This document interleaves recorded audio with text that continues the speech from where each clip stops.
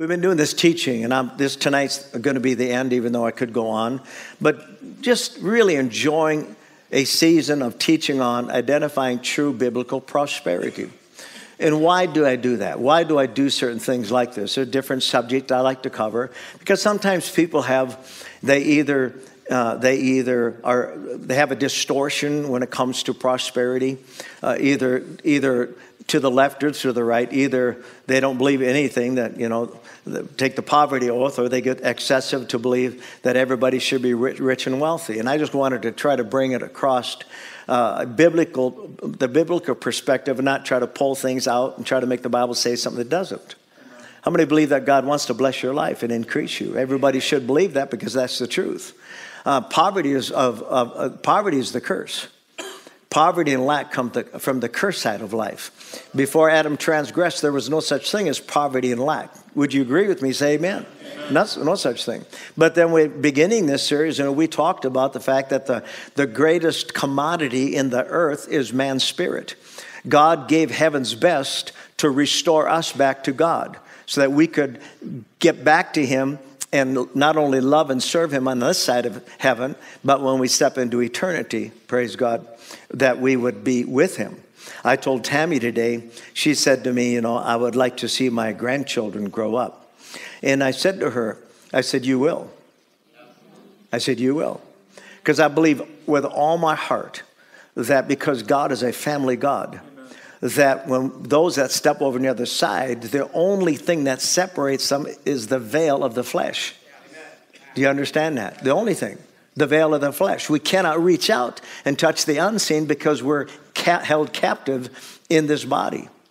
Many years ago, I almost drowned in Cancun, and out of that experience, I got extreme claustrophobia, and it was it was bad. And um, one day, I got to thinking that how that I was held captive in this body.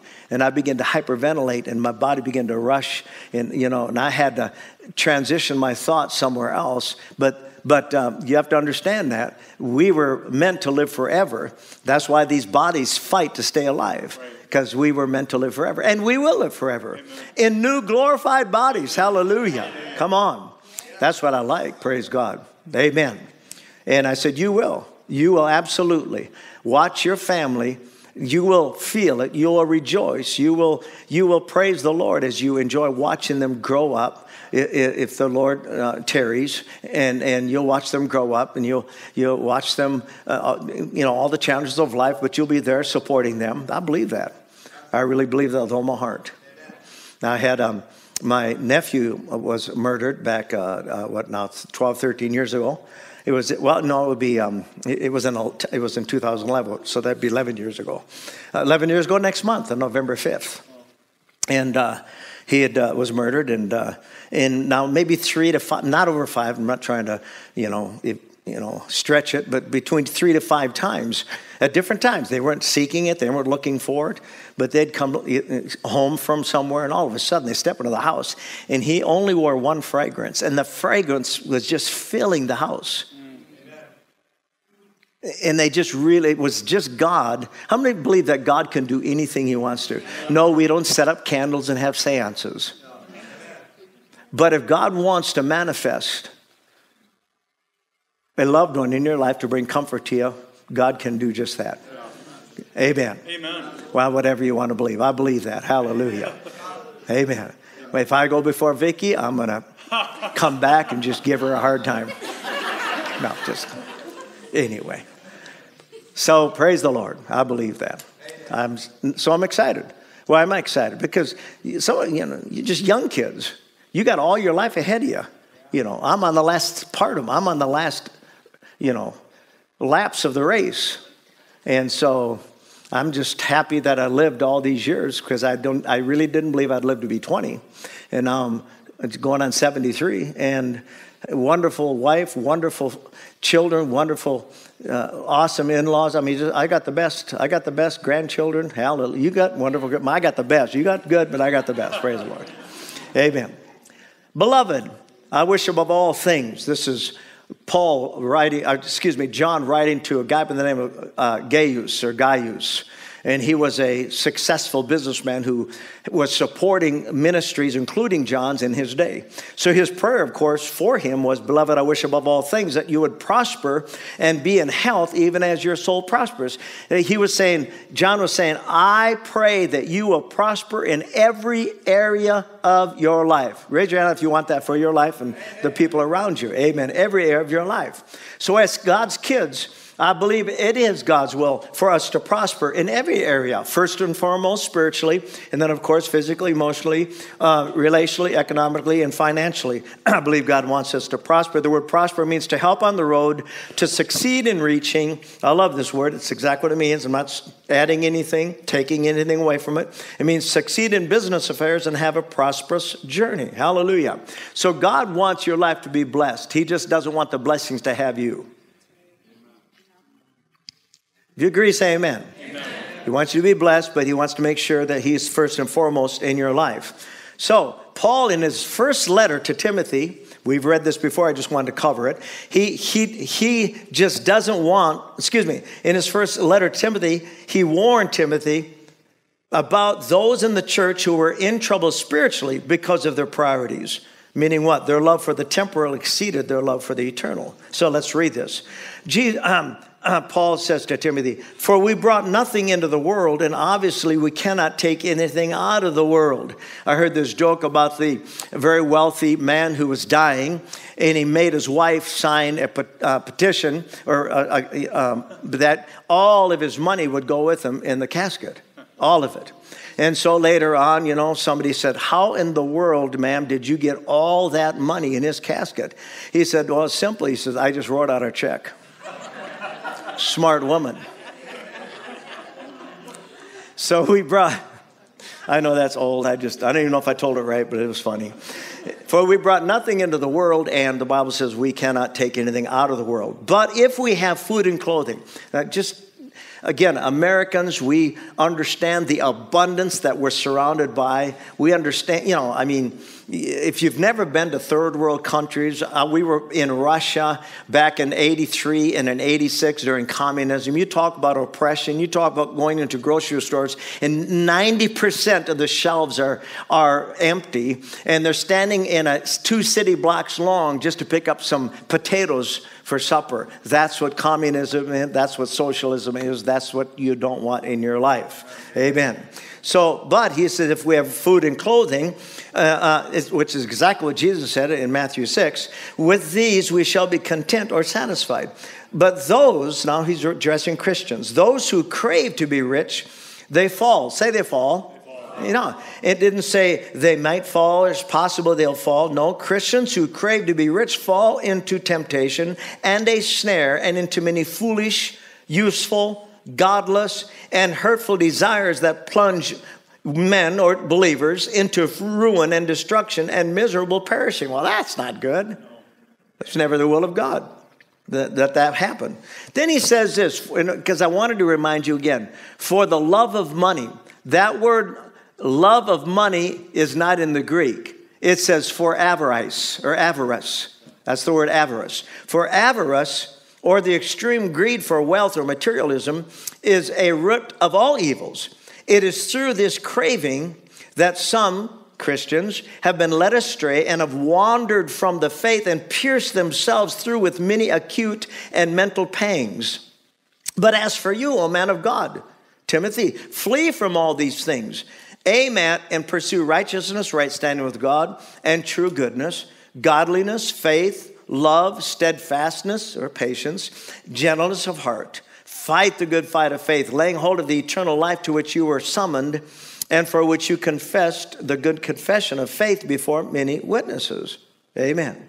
Paul was telling Timothy, man, if you set your heart on, on your love for the temporal, you're going to let go of the eternal. And you see that in life. And as Americans, because of materialism, because we're bombarded 24 7, uh, baited constantly um, uh, through the different avenues of media, that, that we're constantly, it's constantly before our minds that what we have is not good enough. We need something different. But we need to be content. If you agree, say amen. amen. So God wants us to increase. but not at the expense, listen, of his kingdom in you. In the parable of the unjust steward, Jesus said this If you have not handled the riches of this world with integrity, why should you be trusted with the eternal treasures of the spiritual world? And if you've not proven yourself faithful with what belongs to another, how many believe that everything you have belongs to God, but He's just asking for a tithe? So if you have not um, been faithful with what belongs to another, why should you be given wealth of your own? It is impossible for a person, a believer, to serve two masters at the same time. You'll be forced to love the one, or that's God, reject the other, that's money. One master will be despised, and the other will have your loyal devotion. So, your choice between God and the wealth of this world is no different. You must enthusiastically love one and definitely reject the other. Wow. I mean, we talk about prosperity, we talk about money, but which one are, are we going to, what, you know, what are we going to love? What, what, are we, what are we going to be devoted to? And if one thing maybe that happens at this time and season of our lives when, you know, again, I remind you, uh, interest rates now for housing has gone up to over 7%, and it's slowing, you know, s- slowing the process of buying homes down. But when we came here, it was 18%. And there was something in us. It was just the youthfulness, the uh, not, not, the you know, not that we were over spiritual, but there was something on the inside of us that we didn't even think 18%. We thought vision, building the kingdom. Amen. And because we did, God honored our devotion to Him. Amen. Yes, there were lean times. Yes, there were. But God always provided. Amen. Always. And God, if you keep your faith in Him, you keep your, your, the, first, the, the first and foremost thing of your love for Him, He will always provide for you. He's not seated uh, on the throne and G- talking to Jesus says, What are we going to do? The interest rates have gone to 7%. How many have their faith in God? Amen. That's the way to have it. Amen. Hallelujah. So, Throughout your Christian journey, your uh, love for God will always be tested through the means of your giving. The Pharisees, though they tithed on everything down to the mint leaf of their garden, their giving had nothing to do with their love for God and, their, and, and His will. Here's what Jesus said. He called them out and said, What sorrow awaits you, teachers of religious law, you Pharisees, you hypocrites? For you're careful to tithe even the tiniest income from your herb gardens, but you ignore the most important aspects of the law justice or uprightness, mercy, and faith. Yes, you should tithe, but don't neglect the more important things. So, uprightness of heart, mercy, and faith is just as important or even more important than giving. Because you can tithe, and if you lack these things, your tithing doesn't do any good. Amen. Isn't that something? We'll talk about more of this thing called management in a moment. So, Jesus was saying you can be just as hypocritical as a believer by bringing your tithes to the storehouse, in, in, but inwardly things aren't right. You're offended, you hold unforgiveness in your heart, you show little mercy, even though God has shown you great mercy. And because of your, that you're out of love, your faith doesn't work because faith works by love. Isn't that good? That's good. Anyway, Matthew 25. We're going to go here for a little bit and end up in Corinthians if we have time. Matthew 25, Jesus was teaching the disciples the parable of the talents. Okay? What is a parable? A parable is a natural story to reveal a spiritual truth. Okay? So, the Passion Bible I'm going to read, verse 14. It's, it'll be up here. Again, heaven's kingdom, Jesus said, is like a wealthy man who went on a long journey. Heaven's kingdom is like a wealthy man who went on a long journey and summoned all his trusted servants and assigned his financial management over to them. So, this parable, Jesus used it for two reasons. Number one, excuse me, Jesus uses a parable for two reasons. Number one, to conceal a spiritual truth. Number two, to reveal a spiritual truth. Don't lose me now. But that's why I use parables to conceal, to, to conceal the spiritual truth and to reveal the spiritual truth. That's why he, he talked like that. Conceal a spiritual truth from those who aren't willing to receive it, and reveal a spiritual truth to those who are willing to receive it. Isn't that good? Pastor Vicki said something, and I, am not sure if I'm accurate when uh, in what she said. I mean, exactly, but she said, God will speak to you when you're willing to obey. And a lot of times you don't hear from him because he knows we are not going to obey him because he's not, so he's not even going to waste his time. Raise your hand if you want answered prayer quick. Well, then you're going to be tested on a daily basis. And most of the testing is relational. And you'll be tested. And then think about the testings of life. Do you know why Jesus was so disappointed in the scribes and Pharisees? Because they'd studied the Bible their entire life and still refused to obey it. That's why he was disgusted. They were to represent God, God's love, God's compassion, God's mercy. They, they were to represent discipline. Uh, they were to represent, I mean, everything that God was, and they failed in every area because they became. This is what the Lord told me years ago. I, I just thought about it today. He said, There are three things we are without a Christ centered life. We are self righteous, we're always right. We're self ruling, we want to be in control, and we're self indulgent. It's all about me. And we all, I think, can relate to all those things. oh, I don't know. I'm preaching better than you're. Yeah, I know you're just listening. Or you're saying, man, I hope he gets over this quick. Anyway. Again, heaven's kingdom is like a wealthy man who went on a long journey and summoned all his trusted servants and assigned his financial management over to uh, them. So now we know that this parable is about stewardship. First of all, over the most valuable resource a believer has, that's the management of his own spiritual life, okay? Which includes every other area of life. Now let's, so I'll write, whether or not we like it, listen, God has assigned us to be faithful stewards over our spiritual lives faithful stewards over our natural lives, stewards, listen, just listen to this. Stewards over our own thought life, our own emotions, our own words, our own actions, stewards over our marriages, over our families, over our businesses, as well as over our finances, bringing all of it under subjection to the will of God revealed in the Word of God. No wonder we need help. No wonder we need help. No wonder we need the Holy Ghost. Just think about that. What we are called to steward. There's no excuses. We can't blame our mate. We can't blame the preacher. We can't blame our fellow believer. Because if we steward our lives as God requires, love would rule, our families would be at peace, our marriages would be sound.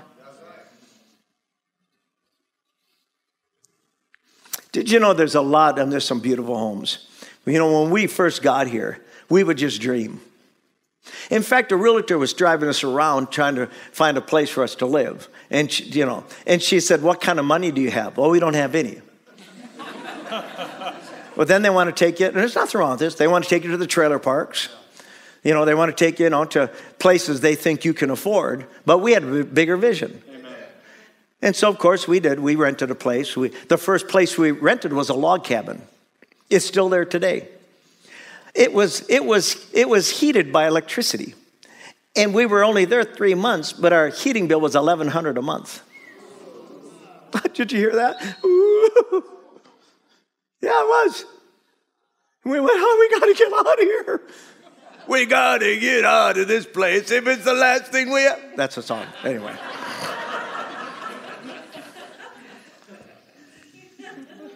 But God provided Amen. for those three months, and then He got us another place. Amen. Say this out loud God is my provider. He really is. Amen. He really is. So, but Let's go on. Again, heaven's kingdom is like a wealthy man who went on a long journey and summoned all his trusted servants and assigned his financial management over to them. Say trusted servants. Trusted. Amen. That's why he chose trusted servants, okay? And then before he left on his journey, he entrusted a bag of 5,000 gold coins to one of his servants, another bag of 2,000 gold coins, and to the third, a bag of 1,000 gold coins. Now, watch this each according to his ability to manage. The one entrusted with 5,000 gold coins immediately went out. He was the doer of the word. He didn't question his master. He didn't doubt his master. He just simply knew, he knew in his heart that his master could trust him. Can he trust you? Can he trust you? See, we who have been serving God the longest have a greater responsibility to do what the Word of God says compared to these kids who've been serving God a couple years. Oh, maybe longer, but I'm making a point. That's what Jesus dis- was disgusted with. That these, bless your heart, he, I'm sure, I mean, if he'd have gotten a flesh, he'd have called them knotheads. Because he was so frustrated with them that they didn't catch it. We that have been serving God for a while are far more responsible to be accountable to react to whatever according to the Word of God, not according to our flesh. It is good. Thank you. The one entrusted with 5,000 traded with the money, and he doubled his master's investment. The same way, the one who was entrusted with 2,000 gold coins traded with the sum and likewise doubled his master's investment.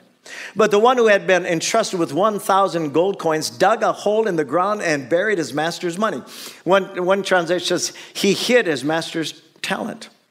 Now, we can go many different ways with this. And we're not, we're not just simply, even though we're talking about finances tonight, if you want to get into the nitty gritty, the most valuable assets in your life is the attributes of God in your life. It's the talents, the giftings, abilities that He's given you. And I just want to encourage you if God has blessed you with talents and abilities and giftings, use them. Don't hide them in the earth. I get grieved in my heart when, you know, um, even though I do like the show because of talent, uh, America, the American Idol or America's Got, I just kind of, we, I love, to, I love to see the giftings and talents in people. Okay? But it's so sad when people come out, yeah, I, am a, I'm a worship leader at my church. And so they're there to compete. But it's kind of sad just because of the fact, are you serious? You want to give up? You want to give the gifting talents that God gave you? Uh, and I can understand why. I can understand why sometimes, just because uh, the church wants everything free. Yeah. I'll get over here. They look mean on that side. The church. I'm just kidding. The church, the church wants everything free. Everything, you know and the world goes out and pays their many bucks to go watch whatever somebody's at the stadium out here. I've been out there for a couple of things, and I can't understand the thing they're saying, so I just leave. That's my age, probably. Yeah, and so what do they do? You know, well, they, you know, they want to use their talent. You know, um, it's so funny. Angie, uh, both my daughters and my son, but both my daughters are extremely gifted in music, extremely gifted, extremely gifted. And I think it, it, either of them could have made it. If they would have been young, I mean, at 16 years old, if, if Angie, Angie never wanted to be, you know, she never wanted to, she's done a public person, you know, where Amy is more public, you know, she likes to, you know, entertain, you know, and uh, she's tried to get on a few of these shows. But if they'd, if they'd had these shows when they were uh, 14 and 15, both of them would have made it. Thank God they didn't, but they could have. I'm just telling you, they could. I ain't just saying it because I'm dad. Though I'm dad. I'm saying it because that's how gifted they are. Absolutely.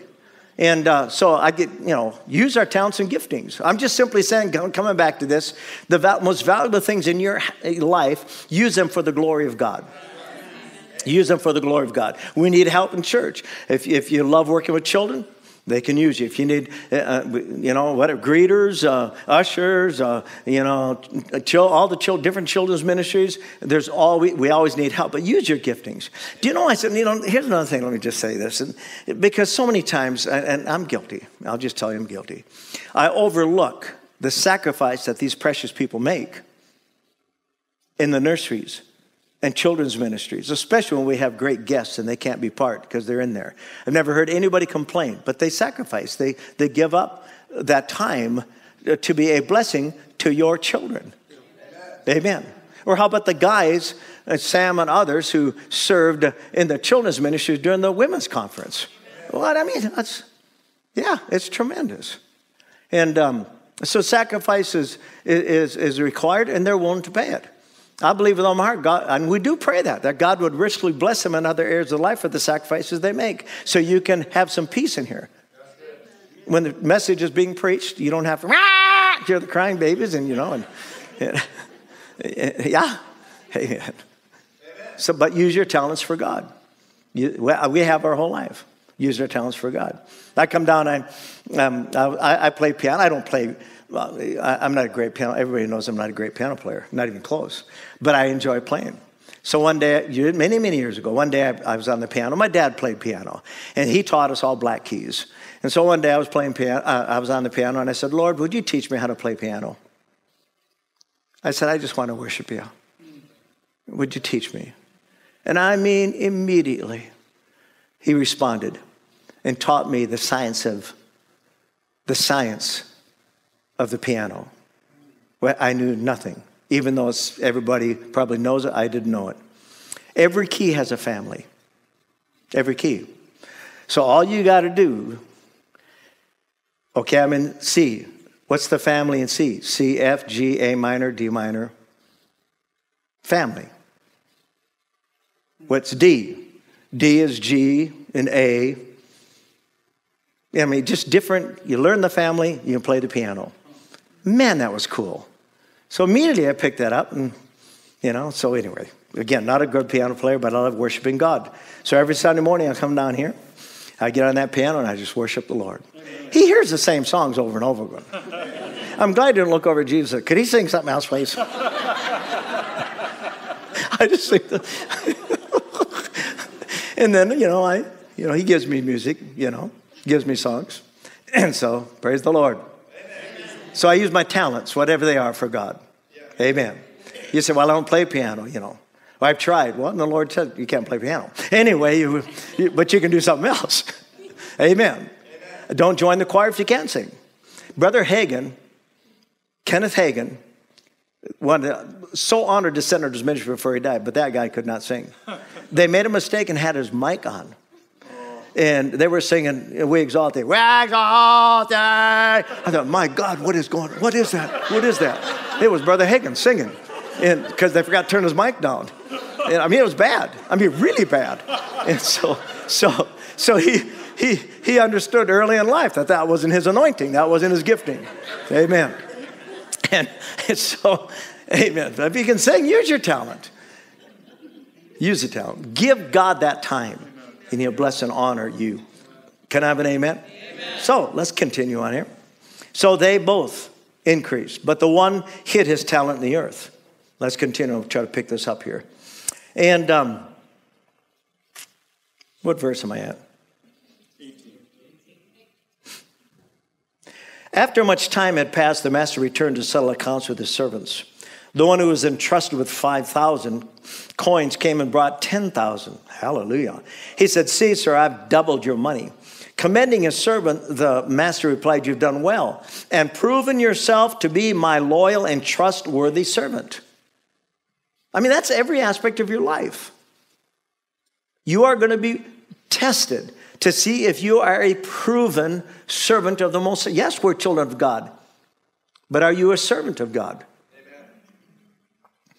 And so the second one was the same way. He got the same blessing, the same reward. Hallelujah. Then drops down. Then the one who had been entrusted, verse 24, with 1,000 gold coins came to his master and said, Lord, sir, I know that you are a hard man to please and you're, you are shrewd and ruthless. Imagine this. You are a shrewd and worthless, uh, uh, worthless businessman who, you talk about disrespect and dishonor. And, um, Eh, eh, and uh, eh, let's go on. Who grows rich on the backs of others. Man, such disdain and lack of respect. I was afraid of you, so I went and hid your money and buried it in the ground. So here it is, take it, it's yours. But his master said, You are an untrusting, you are untrustworthy and lazy servant. If you knew I was shrewd and worthless businessman who always makes a profit, why didn't you deposit my money in the bank? Then I would at least had, had interest and I return. But because you were unfaithful, I will take the 1,000 gold coins and give them to the one who has 10,000. For the one who is, has a, the one who has what? A faithful and trustworthy heart will be given more until, until he overflows with abundance. And the one who, uh, with hardly anything, even with the little he has, will be taken. Then the master said to the other servants, Now throw this good for nothing servant far away from me into the outer darkness where there will be great misery and anguish.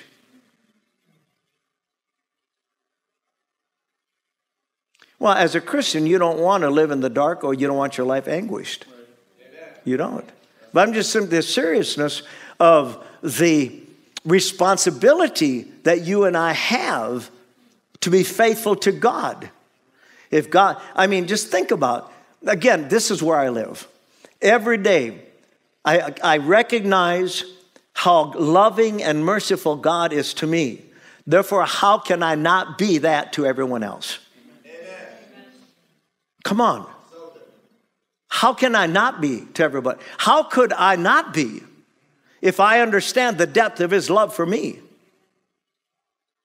And I know you, everybody thinks, you know, a pastor has it together, a pastor, you know, I have every challenge that you have.